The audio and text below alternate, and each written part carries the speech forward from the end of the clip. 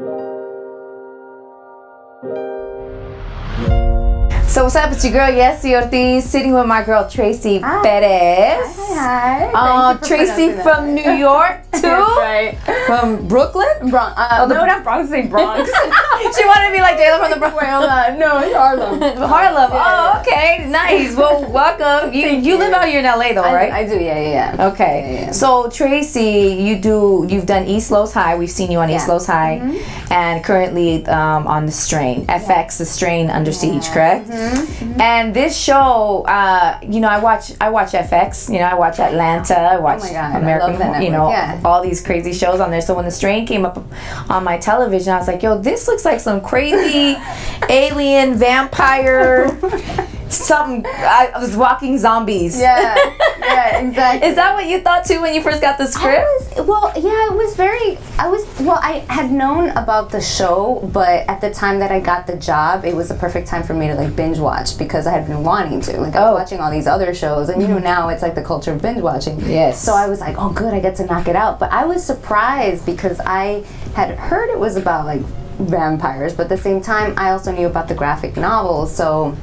Like I absorbed everything. Like I read everything. You read all I the novels? Everything. Yeah, it was just like Oh my gosh. just consumed everything. So my so my world could just be that. Yeah. You know, and I could understand that a little better. Not obviously shooting in Toronto and not even here or New York. Yeah. So, um, but that was intriguing to me how it became a virus, and this virus was something that was so out of control, and it made us go against ourselves. And essentially, like, if you know your mom has it, Yeah. and you're gonna have to kill her because then she's gonna spread She's gonna it. spread and- it, spread it or turn Yeah. into that. and I like that conflict um, because it does now. I mean, that's a very human.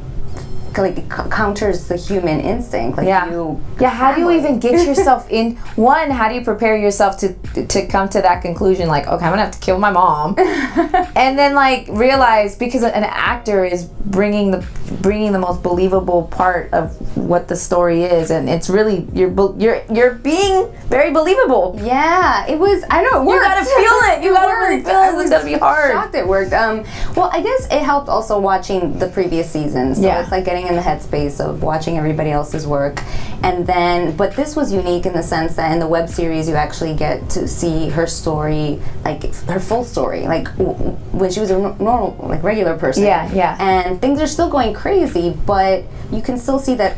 She's in a bit of a denial, Right. and the dynamic between her mom is that you know she's basically like the the male figure in the household. It's just her and her mom.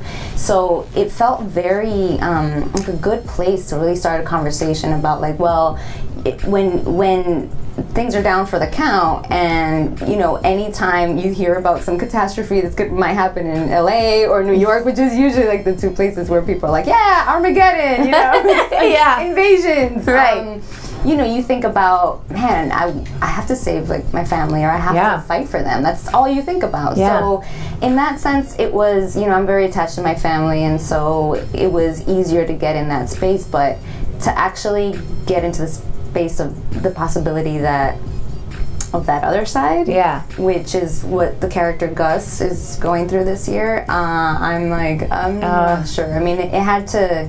It's It was a very scary. I, I thought I was like, yeah, it, it, it looks like, and it feels, I'm sure, very scary too, because they, the set and the way they put you in these, you know, situations and, and very, you know, gory Yeah. as well.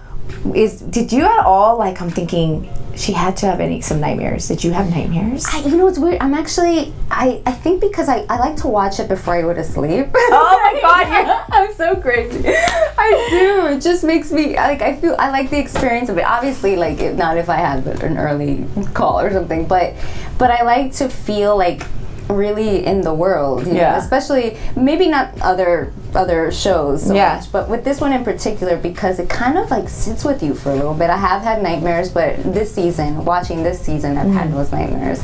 And when I saw Mm. Online- did? yeah, and it was very strange because I was confused. It started off like you know how the Strigoi come, they're very like you hear them and they linger and then Yeah. they pop out. So it was a lot like L- listening, laying in bed, hearing your house settle, you're like, what's happening? yeah, like why why would this exist here?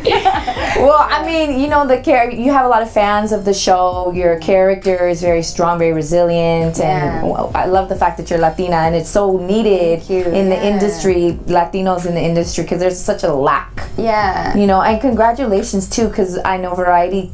You know, you were at the Variety Party, ten Latinos to watch, Oh, yeah. and just seeing being a part of that. You know, how important is that? Like, I mean, I know for me it's important, but for those who are watching, you know, maybe there's somebody out there watching who wants to be an actress. How important is it for us Latinos to be portrayed correctly and accurately on on film?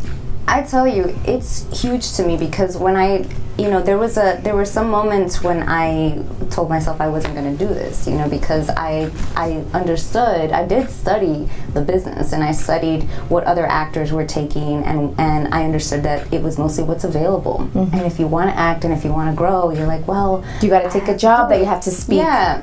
You know. Yeah, there was a climate for it, and I felt like, um, you know, when I first started out in New York, it felt very, I was very rebellious about it, mm. and it, I think it spiraled into me getting the type of work that I get here, especially East Los. Like my character Vanessa, she's she's like top queen bee till the end. No matter, it doesn't matter if she has HIV, she's still gonna make something of her life, and that to me is like an ultimate hero. Like no matter what, by any means necessary. And I think our culture, you know, when we talk about our women, Yeah. we we grew up with that. You know, we saw our, our, our women struggle, our sisters struggle, our mothers struggle, and when we look at what what we have in our lives, we're like, well, that's so much more.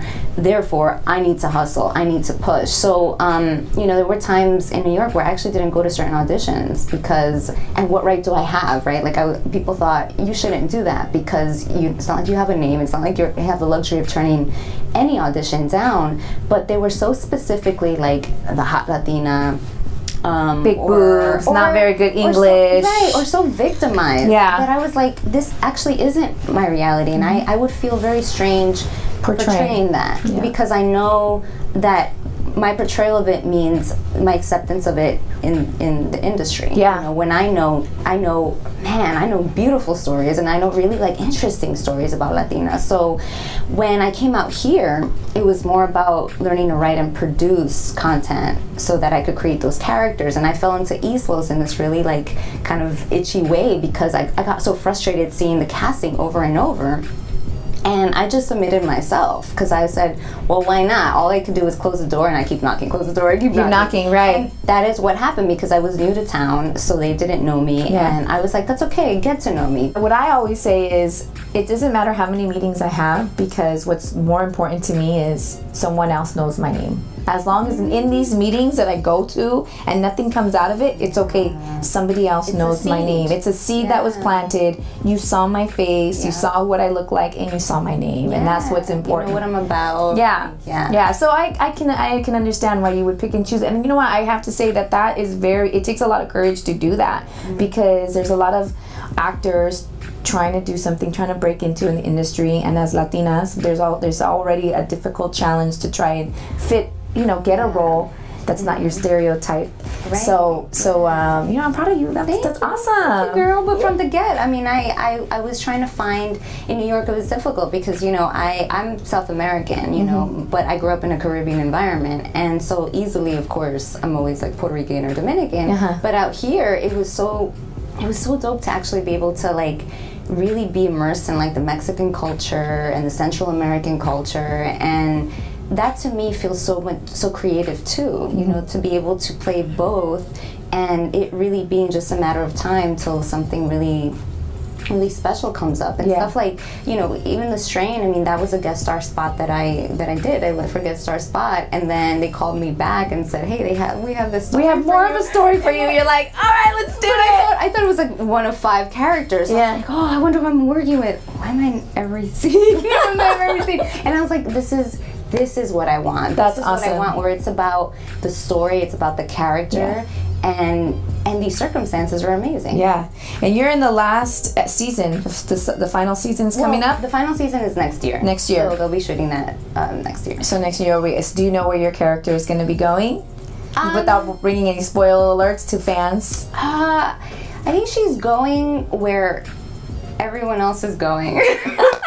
Who's alive at this point? Because, um, yeah, it gets pretty dark. I, I'm catching up on this season. Yeah. You know, I'm trying to like, I like the binge watching experience with this season. Yeah. I was like, no, I just want, I, I want to put it together. Right. Um, but it's getting really, really gloomy. I mean, there's only so much more you can get until there's an invasion and And then something happens. Yeah. So- okay. So, um, but she, what I love is that she's she's a fighter, and you know the the cast is so great that uh, I, I don't know what's gonna happen, but it's just nice to be able to be in that category where she is someone who's you know fighting for for her life and and her mom's life. Yeah, and, and it's uh, it's it's going to be exciting to watch. So make sure you catch the web series um, FX The Strains Under Siege, right? Mm-hmm. And then I know you're a huge advocate on um, voting. We have a crazy election. Crazy. I mean, it's kind of scary to think that these are our two candidates. I know.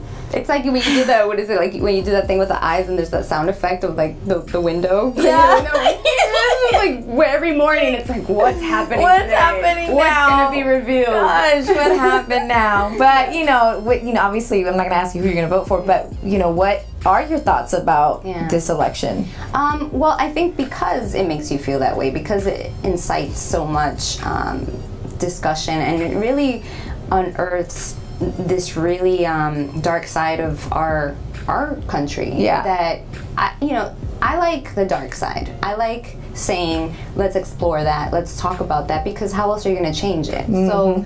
But there is a malicious part of it that has affected our community that we do need to talk about, that we do need to represent. And voting, you know, I, I, I once upon a time was one of those people too that's like, well, it's corrupt, you know, well, I know too much, well, da, da," but Oh, I was the same much. way. I was the same way. I'm like, oh, conspiracy theory. It's um, yeah, yeah. and while that that can still exist, Mm-hmm. I think there's also what can I do about it now in in my world when I see that that this is pretty v- a vital time, Yeah. and our numbers, our influence, our intelligence, Yeah. like let's be smart about this. Yes. you know, as a culture, like we we understand within ourselves the reasons why. Um, we're not more active, but a lot of it has to do with the fact that we're so used to being invisible or not represented, which is what ties into you know media. Mm-hmm. Yeah. Like, okay, well, if we only see this one thing, then we only think that one voice is the one that's going to be heard. Mm-hmm. But if we see a variety, like now you do see a lot of, of more variety of characters for for Latino Yeah. actors, Yeah. and that is and that's still going to be pushed through. But on the flip side of that, politics has kind of the same mirror, you Yeah. know, and it's our job to actually participate. Um, and I've been working with Voto Latino this past year, well, this year, to be able to um, you know, talk about the issues. Like, okay, it's okay to feel this way, but let's actually think uh, about how to ex- express action and how to influence others so that Mm-hmm. they can themselves feel empowered. And that, when you feel empowered, it doesn't only go for politics or your career. It Right. goes for your self worth. It goes for what you can contribute to your community. there's start there's, there's this fire that gets lit under you that Yeah. you're just like let me stay awake on all of it, Yeah, it balances everything out. So I, I don't think that it's this one singular thing. Like if you vote, um, you know, you're you're only going to bridge this one path. It's like no, I think it's it's something that makes you feel like you're part of of this country because we are. yeah we are We always have yeah. to remember. Yeah, we are. We're citizens. yeah, like we matter. And um, you know that we matter is very profound. yeah At this time. absolutely so you've got to stay woke and pay attention to what's happening with uh, these laws that are being trying to pass in this election so if anything just bring awareness to what's happening and Yeah, and don't be afraid to talk about it. Yeah. You know, because it was such a hush hush thing for a while that I think it's it's okay now to talk about it, and that's what I love about Right? it. Yeah, it's okay to talk about and ask questions. If you don't know a que- the answer to, or you not very confident in what the question is, you're not sure what the question is, ask what does that mean. Yeah. it's okay to ask what does that mean. So, I want to thank you for coming through. Um, really appreciate you hanging out with us here at Power 106. Thank you. Make sure to catch our girl Tracy. And where can we follow you? Um, well, I'm on Twitter at Tracy underscore Perez and on Instagram at Reina del Sueño. Reina de los sueños. All right, that's it for now, man. It's Power 106. Bye.